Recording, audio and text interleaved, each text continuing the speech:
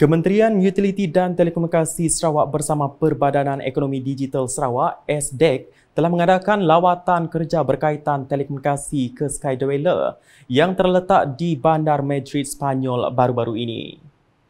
Lawatan diketuai Menteri Utiliti dan Telekomunikasi Sarawak MUT Datuk Seri Julaihi Narawi beserta delegasi ke Skydweller bertujuan memahami dengan lebih lanjut tentang teknologi dan keupayaan high altitude platform sistem hubs.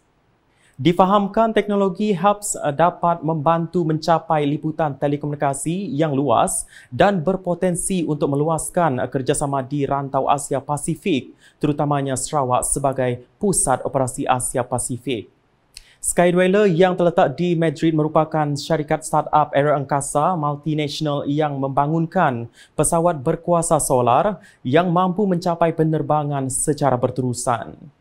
Turut mengiringi beliau ialah Timbalan Menteri Perancangan Bandar Pentadbiran Tanah dan Alam Sekitar Datuk Len Talif Saleh, Timbalan Menteri di Jabatan Premier Sarawak Hal Ehwal Koprat, Penerangan dan UKAS, Datuk Abdullah Saidol, Charge the Affairs CDAI, Kedutaan Malaysia di Spanyol Muhammad Farhan Muhammad Arifin serta delegasi lain.